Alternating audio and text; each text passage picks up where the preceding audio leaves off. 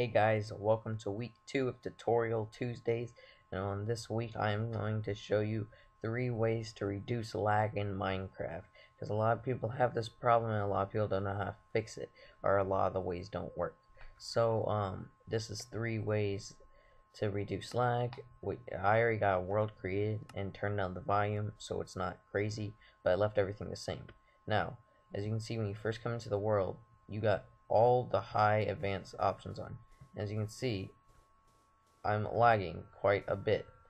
Now, one of the number one ways to reduce lag is to open up your options, go to video uh, settings, turn the graphics to fast, turn bobbing off. Well, you can have bobbing on, but I prefer it off just because, I don't know, I don't like it. And change, change your render distance to short, and turn smooth lighting off. And this will reduce your lag a lot. As you can see, I'm not having any lag. Okay, way two is to keep Minecraft open and running. Okay, to keep Minecraft open and running, and come down here to where your time's at, and you can right click it, and it'll ask you to open Task Manager. Okay, start Task Manager. What you're gonna want to do is open that and if that doesn't uh is if it's not an option there do control alt delete and it will open up a screen and just hit start task manager there. It'll do the same thing bring you to the same place that I'm in right now. Now when you get here you'll be on applications. What you're gonna want to do is go to processes.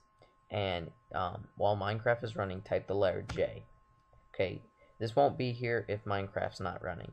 Now what you're gonna want to do is right click it set priority to high.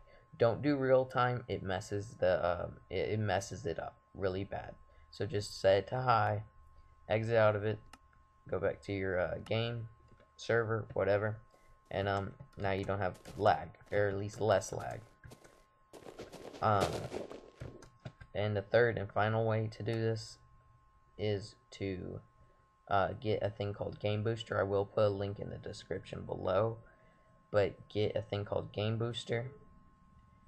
And um, it, it what it does is it turns off unneeded programs that are running as you watch like for example watch my bomb bar when I hit click to boost oh and when you first get it'll, it'll force you to customize it just customize it to ways that you want it things that you don't want closed and that's how you do it now watch the bomb bar click the boost now it does a bunch of other things than just this. It's just the only noticeable thing I see.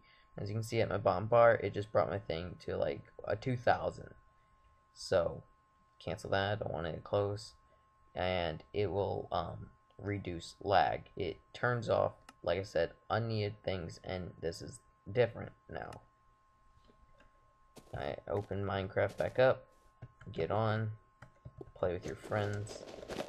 And have some fun. Um, so yeah, this is three ways to reduce lag in Minecraft for Tutorial Tuesday week 2.